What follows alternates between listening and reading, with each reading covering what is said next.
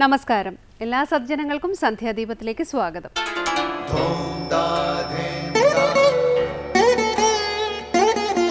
ശുഭം ഭവതു കല്യാണമായുസാരോഗ്യവർദ്ധനം.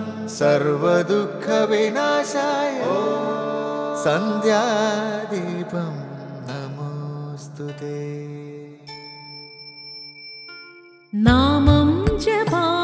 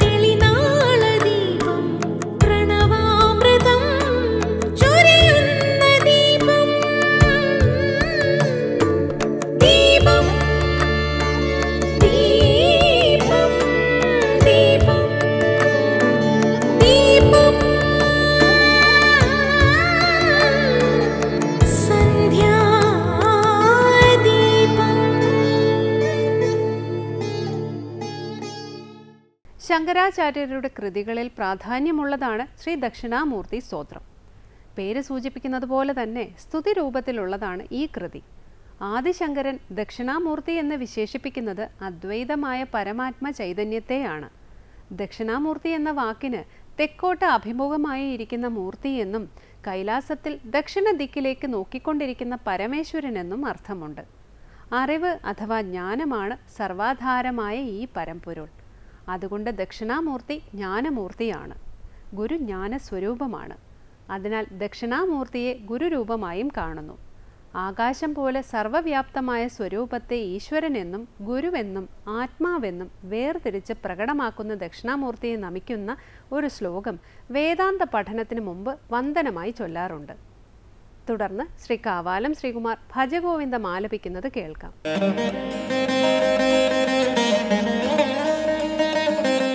നളിനീദളഗതസലിലം തരളം തദ്വജ്ജീവിതം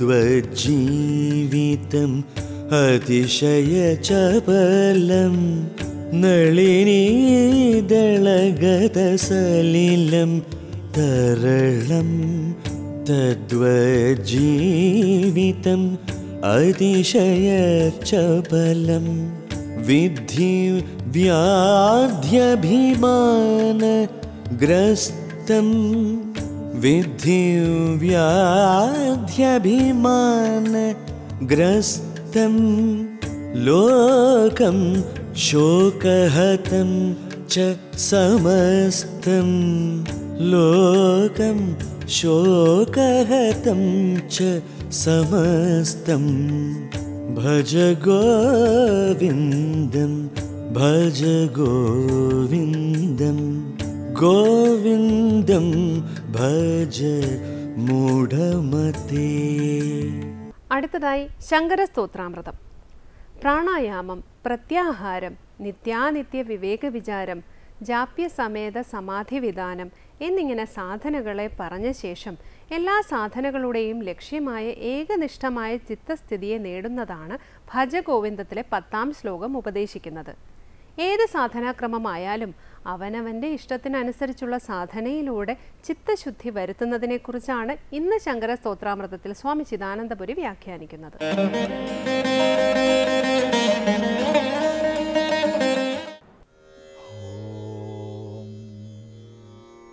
गुरुर्ब्रह्मा गुरुर्विष्णु गुरुर्देवो महेश्वरः गुरुः साक्षात् परं ब्रह्म तस्मै श्रीगुरवे नमः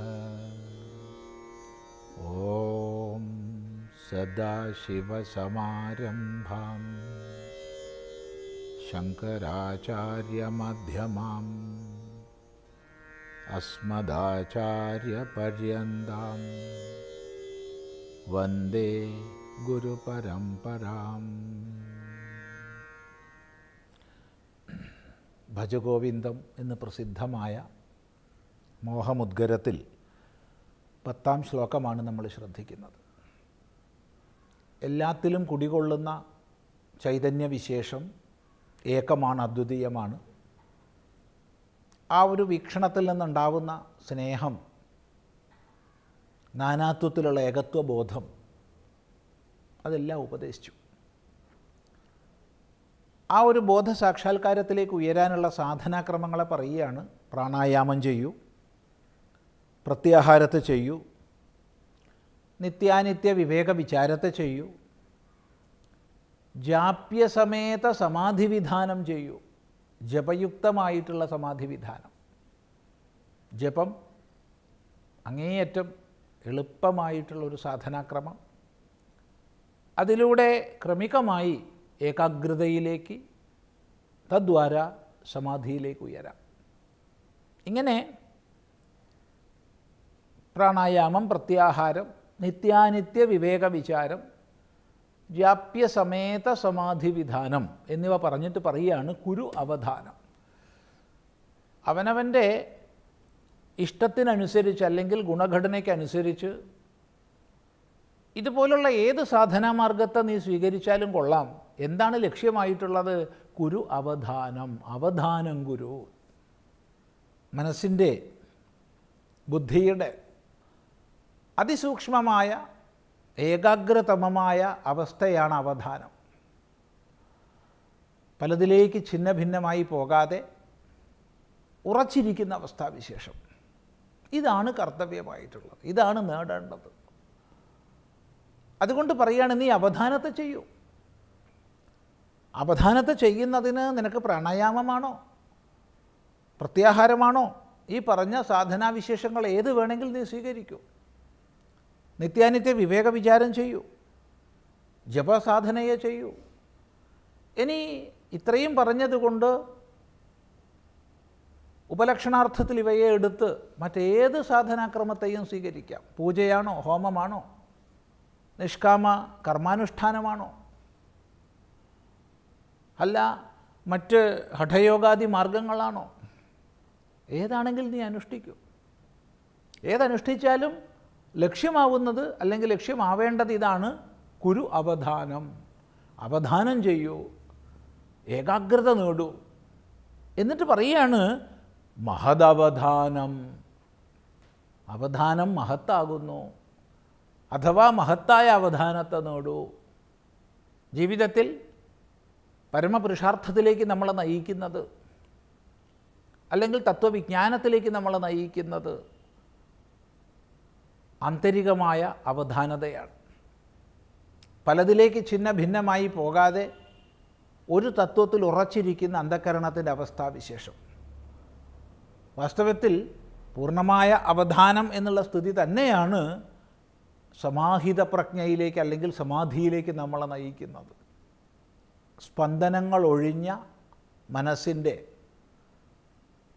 അലകളടങ്ങിയ സമുദ്ര സമാനമുള്ള ശാന്തഗംഭീരമായ സ്വരൂപസ്ഥിതി. അത് ശാന്തമാണ് ഗംഭീരമാണ്. അങ്ങനെയുള്ള അന്ധകരണത്തിന്റെ അവസ്ഥയാണ് ഇവിടെ അവധാന ശബ്ദം കൊണ്ട് ഉദ്ദേശിക്കുന്നത്. ഇതിനെ നീ നേടിയാലും. അപ്പോൾ പറഞ്ഞത് ഓരോ വ്യക്തിയുടെയും സ്വഭാവവിശേഷമനുസരിച്ച് വൈചാരിക വൈകാരിക തലഭേദങ്ങൾക്കനുസരിച്ച് ഗുണഘടനയ്ക്കനുസരിച്ച് വ്യത്യസ്തങ്ങളായ സാധനാക്രമങ്ങൾ സ്വീകരിക്കാം. അതിലിവിടെ ഉപലക്ഷണമായിട്ട് പ്രാണായാമം പ്രത്യാഹാരം നിത്യാനിത്യ വിവേക വിചാരം ജാപ്യസമേത സമാധി വിധാനം എന്നിവ പറഞ്ഞു. അതിലൂടെ നേടേണ്ടുന്നത് ഈ അന്ധകരണത്തിന്റെ പരമമായ അവധാന ഭാവമാണ് സാവധാനം സമ്യക്കായി നിയന്ത്രിക്കപ്പെട്ടിട്ടുള്ള ഒന്നിൽ ഉറച്ചു നിൽക്കുന്ന അന്ധകരണത്തിന്റെ അവസ്ഥ. അതിലൂടെയാണ് തത്വവിജ്ഞാനം പ്രകാശിക്കുന്നത്. ഇങ്ങനെ സാധനാനിഷ്ഠനാവാൻ ഉപദേശിച്ചു. ഏതൊരു സാധനാമാർഗത്തിലോ ആവട്ടെ നമുക്ക് മുന്നോട്ട് പോകണമെങ്കിൽ ബാഹ്യങ്ങളായിരിക്കുന്ന വിഷയങ്ങളുടെ നിസാരതയെക്കുറിച്ച് ഇന്ദ്രിയ മനസ്സുകളെ ആകർഷിച്ച് മഥിക്കുന്ന ബാഹ്യപ്രപഞ്ചത്തിന്റെ യഥാർത്ഥമായിരിക്കുന്ന ഭാവത്തെക്കുറിച്ച് നമുക്ക് അറിവ് വേണം. അതുകൊണ്ട് തുടർന്ന് ഉപദേശിക്കുകയാണ് പതിനൊന്നാം ശ്ലോകത്തിൽ. നളിനി ദളഗത സലിലം തരളം തദ്വജ്ജീവിതമതിശയ ചപലം വിദ്ധി വ്യാധ്യഭിമാനഗ്രസ്തം ലോകം ശോകഹതം ച സമസ്തം. നളിനി ദളഗത സലിലം തരളം തദ്വജീവിതമതിശയ ചപലം വിദ്ധി വ്യാധ്യഭിമാനഗ്രസ്തം ലോകം ശോകഹതം ച സമസ്തം. ഇവിടെ നളിനീദളഗത സലിലം തരളം എന്നുള്ളിടത്ത് നളിനീദളഗത ജലമതി തരളം എന്ന് പാഠഭേദമുണ്ട്. നളിനി ദളഗത ജലമതി തരളം രണ്ടും അർത്ഥമൊന്നും തന്നെ ഒരു മാറ്റവും ഇല്ല. നളിനി ദളഗത സലിലം. നളിനീദളം താമരയുടെ ഇല. അതിൽ ഗതമായ അതിൽ വീണ അതിൽ പ്രാപ്തമായ സലിലം വെള്ളം വെള്ളത്തുള്ളി. അപ്പോൾ ഒരു താമര ഇലയിൽ വീണ ജലകണമാണ് ഒരു വെള്ളത്തുള്ളി. അതെങ്ങനെയുള്ളതാ? അതിതരളം അതിതരളമാണ്.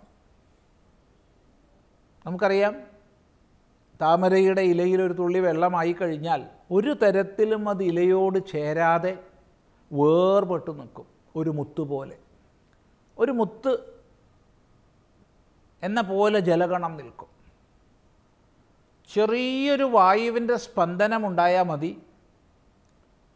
ആ ഇലയിൽ ചെറിയൊരു ഇളക്കം സംഭവിച്ചാൽ മതി. അത് താഴെ വീഴുകയായി.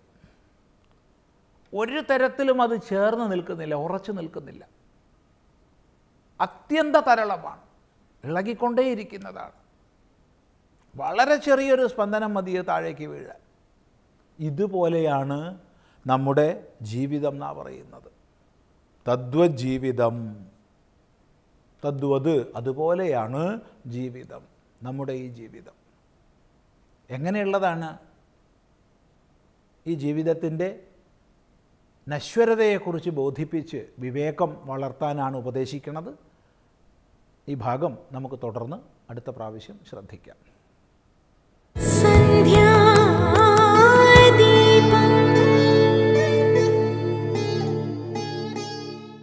അടുത്തതായി സനാതനധർമ്മം. തപസ്സും വിദ്യയും വിനയാദി ഗുണങ്ങളില്ലാത്തവരിൽ വിപരീത ഫലമുണ്ടാക്കും ദുർവാസാവിന് തപസ്സും അറിവും ഉണ്ടായിട്ടും വിനയമില്ലായിരുന്നു. അതിനാൽ ദുർവാസാവിന് നേരിടേണ്ടി വന്ന പ്രതിസന്ധികളെക്കുറിച്ച് ഭാഗവത കഥയിലൂടെ വിവരിക്കുകയാണ് സനാതനധർമ്മത്തിൽ സ്വാമി ബ്രഹ്മസ്വരൂപാനന്ദ.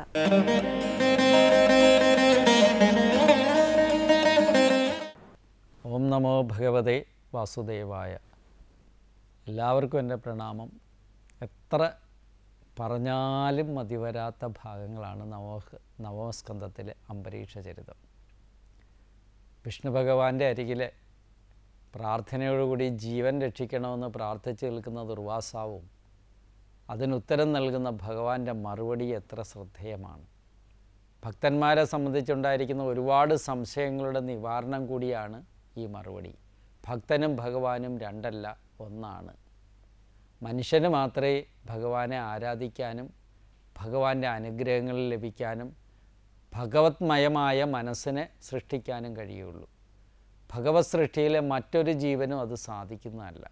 അതുകൊണ്ട് തന്നെ സർവശ്രേഷ്ഠമായ ജന്മമാണ് മനുഷ്യജന്മം എന്നുള്ളത് കൊണ്ട് തന്നെ ഭക്തനും ഭഗവാനും രണ്ടല്ലെന്നും അതൊന്നാണെന്നും പരമാദ്വയമായ അവസ്ഥയാണെന്നുള്ള കാര്യം നമ്മളാരും വിസ്മരിക്കരുത്. അതുകൊണ്ട് തന്നെ ഇനി പറയുന്നു ഭഗവാൻ ഉപായം കഥയിഷ്യാമി തവ വിപ്രസൃണുഷതത് അയം ഹി ആത്മ ആത്മാവിചാരസ്തേ യഥസ്തം യാതു വൈ ഭവാൻ സാധുഷു പ്രകൃതം തേജ പ്രകർത്തുക്കുരതേ ശിവം. പറയുന്നു ഏ ബ്രാഹ്മണ എന്നെ ശരണം പ്രാപിച്ച അങ്ങയെ ഉപേക്ഷിക്കുന്നതും സമുചിതമല്ലാത്തതിനാൽ ഈ ദുഃഖത്തിൽ നിന്ന് മോചിക്കാൻ വേണ്ടിയിട്ട്. എന്നെ ശരണം പ്രാപിച്ചിരിക്കുന്നവരെ ആരെയും ഞാൻ കൈവെടിഞ്ഞിട്ടില്ല. നിങ്ങളും എന്നെ ശരണം പ്രാപിച്ചിരിക്കുകയാണ്. എന്തിനു വേണ്ടിയാണ് ശരണം പ്രാപിച്ചിരിക്കുന്നത്? എന്റെ ജീവൻ രക്ഷിക്കണേന്നും പറഞ്ഞാണ് ശരണം പ്രാപിച്ചിരിക്കുന്നത്. അതുകൊണ്ട് തന്നെ നിങ്ങളെയും ഞാൻ സംരക്ഷിക്കാൻ ബാധ്യനാണ്. നിങ്ങളെ ഉപേക്ഷിക്കുന്നതും സമുചിതമല്ല. എന്റെ ഭക്തന്മാരെ മാത്രമല്ല ഞാൻ സംരക്ഷിക്കുന്നത്. എന്നെ ആരൊക്കെ ശരണം പ്രാപിച്ചോ ഏതൊക്കെ കർമ്മം ചെയ്തിട്ട് ശരണം പ്രാപിച്ചോ അവരെയും സംരക്ഷിക്കേണ്ട ബാധ്യത എനിക്കുണ്ട്. എന്നിൽ യാതൊരു ഭേദങ്ങളുമില്ല. അതുകൊണ്ട് തന്നെ അങ്ങേ ഉപേക്ഷിക്കുന്നതും ഉചിത സമുചിതമല്ലാത്തതിനാൽ ഈ ദുഃഖത്തിൽ നിന്നും മോചിപ്പിക്കാനുള്ളൊരു ഉപായം അത് മാത്രം അങ്ങേ ഞാൻ ഉപദേശിക്കാം. വലിയൊരു ദുഃഖമാണ് ദുർവാസാവിനെ പ്രാപിച്ചിരിക്കുന്നത് ആ ദുഃഖം എന്താണെന്ന് ചോദിച്ചാൽ മറ്റൊന്നുമല്ല. എന്താ അത്? തന്റെ ജീവൻ തന്നെ ഇപ്പം എന്താ പിന്നെ അംബരീഷന്റെ കയ്യിലാണ്. അംബരീഷൻ അയച്ച സുദർശന ചക്രം തന്റെ പിന്നാലെയുണ്ട്. ആ അഗ്നി ജ്വലിക്കുന്നത് മുമ്പ് എങ്ങനെങ്കിലും തന്റെ ജീവൻ നിലനിർത്തണമെന്നുള്ള ആഗ്രഹമാണ് ദുർവാസാവിനുള്ളത്. അതിനെ ഉപായമായിട്ട് എന്താ ഉപായം? അങ്ങയെ രക്ഷിക്കാനുള്ള ഒരു ഉപായം മനസ്സിരുത്തി ചിന്തിച്ചുകൊണ്ട് ഞാൻ പറയുകയാണെന്ന് പറഞ്ഞുകൊണ്ട് വിഷ്ണു ഭഗവാൻ പറയുകയാണ് ദുർവാസാവിനോട്. വിഷ്ണു ഭഗവാനെ ശരണം പ്രാപിച്ച ദുർവാസാവിനോട് ഭഗവാൻ ഇപ്രകാരം അരുളി ചെയ്തു.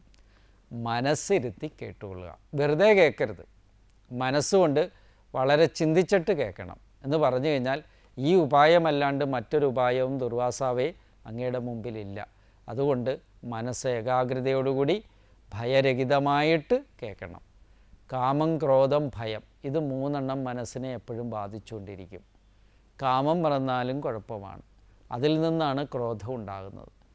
അതിൽ നിന്ന് ഭയം ഉണ്ടാകും. അപ്പം എല്ലാത്തിനും കാരണഭൂതമായിരിക്കുന്ന കാമത്തെ വർജിക്കുകയാണ് ഭക്തന്മാരെ സംബന്ധിച്ച് സമുചിതമായ കർമ്മം. ഇവിടെ പറയുക ഭയരഹിതനായിട്ട് മനസ്സിരുത്തിക്കൊണ്ട് എല്ലാത്തിനും ത്യജിച്ചുകൊണ്ട് ഞാൻ പറയുന്ന കാര്യത്തെ കേൾക്കണമെന്ന് ഭഗവാൻ പറയുകയാണ്.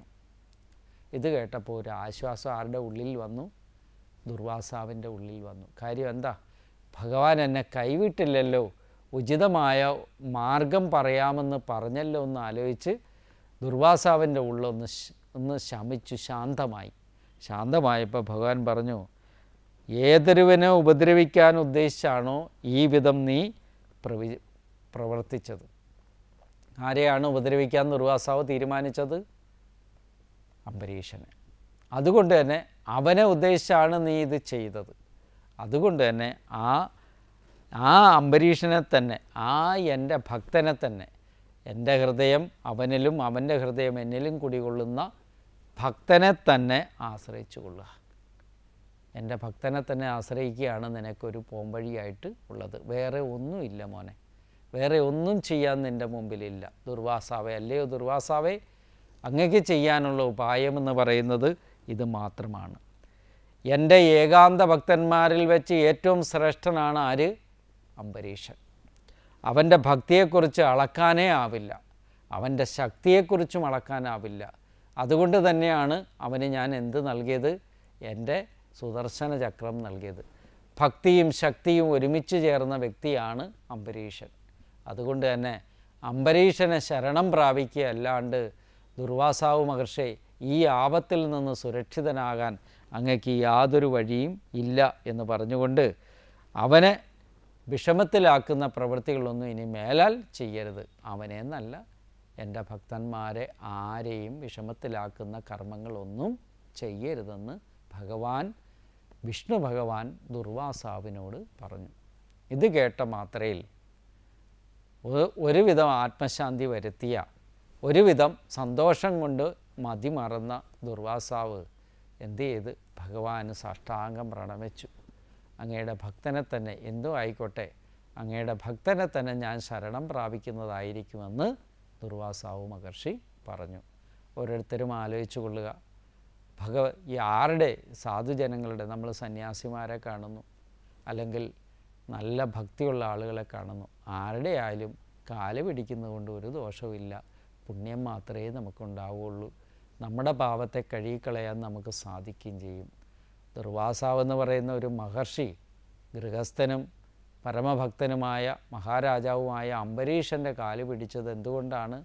തന്റെ സുരക്ഷിതത്തിനാണെങ്കിൽ യോഗ്യരുടെ കാൽ പിടിക്കുന്നതുകൊണ്ട് യാതൊരു ദോഷമില്ല എന്നുള്ളതിന് തെളിവാണ് ദുർവാസാവ് മഹർഷി അംബരീഷന്റെ കാൽ പിടിച്ചത് എന്നുള്ളത് ഓർക്കുക. അംബരീഷനെ ചെന്ന് നമസ്കരിച്ച് തന്നെ സംരക്ഷിക്കണമെന്ന് തന്നെ രക്ഷിക്കണമെന്ന് പ്രാർത്ഥിച്ചത് എന്തുകൊണ്ടെന്ന് ചോദിച്ചാൽ ഉത്തമനാണ് അംബരീഷൻ എന്നുള്ള കാര്യമാണ് ഇതിലൂടെ നമ്മെ പഠിപ്പിക്കുന്നത്. അതുകൊണ്ട് ഒരു കർമ്മവും ആരെയും വിഷമത്തിലാക്കുന്നത് ചെയ്യാണ്ടിരിക്കുക ഭക്തർ എന്ന് മാത്രം പറഞ്ഞുകൊണ്ട് നിർത്തുന്നു. നമസ്കാരം.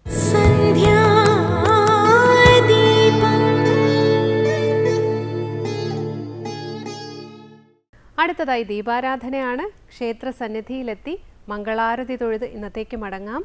എല്ലാവർക്കും നമസ്കാരം.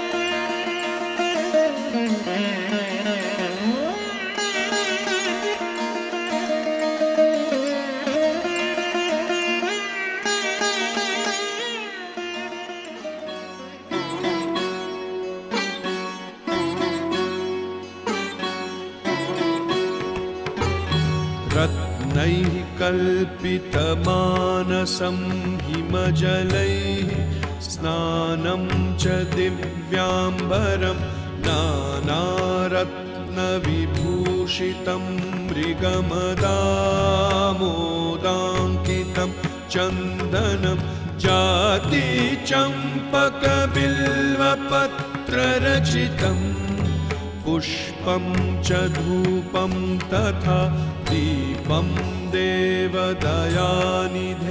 पशुपते हृत्कल्पितं गृह्यताम्